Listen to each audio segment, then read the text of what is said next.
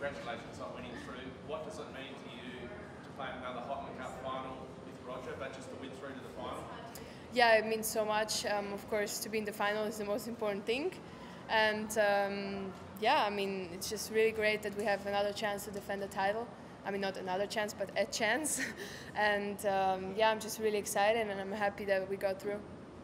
And you matched tonight against Maria. I guess a fair bit of the sting was taken out of it. The result didn't matter. Yeah. You're still happy enough with the way you played in preparation for the final? Um, not really happy. I mean, I played okay, but I think she played great. But um, yeah, I mean, it, this thing was really a little bit off because you know we knew with the Rogers win that we are in the final already. So I definitely tried, you know, to make a second point, to make it uh, stand 2-0.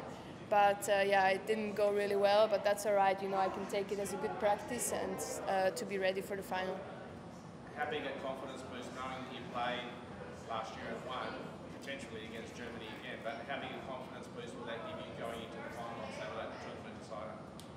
Uh, yeah, of course, a big confidence boost. You know, the most important thing uh, playing here is just to get a good start to the season, to get some matches in, and uh, to feel good on the very similar court to Melbourne, and just to feel prepared overall.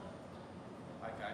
Um, and we don't know yet whether you're going to be playing Germany or Australia. So Angie Kerber or Ash Barty, that would both be tough op- opponents. Uh, your thoughts on either of those playing them?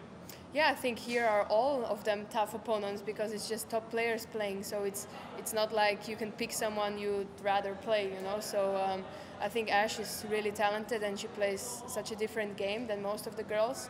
And she had a very good season, um, yeah, last season.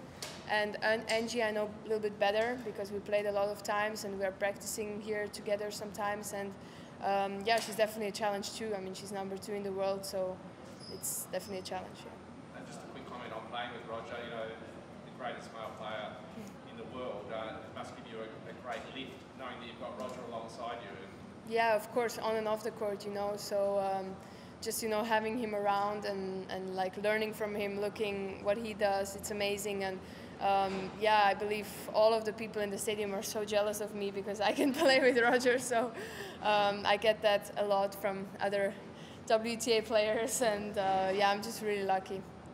Just one last one. On playing that match on Tuesday night, everyone was talking about Roger v Serena. Forgetting there are a couple of other significant players out there as well, yourself included. What's it like being part of that match? No, I think we will maybe be significant in the future with Frances, but it was, of course, all about Serena and Roger, and that's normal and that's great. And I think it's amazing for us because we were the only two people ever like getting to play with Roger and Serena in one court at the same time. So that's like I don't think anyone else ever had that. So yeah, we're really lucky. And just to win what might be the last Hopman Cup, what, what would it mean to you going into Saturday? Uh, I, I'd be pretty sad. You know, I, I think, I mean, honestly, like, for me, every week, Hopman Cup would be amazing. So um, I definitely miss it all year and then looking forward to, year, to it all year. So I'll be really sad if Hopman Cup would not be next year. Thanks, Belinda. Good luck in the final. Thank you. Thank you for your time.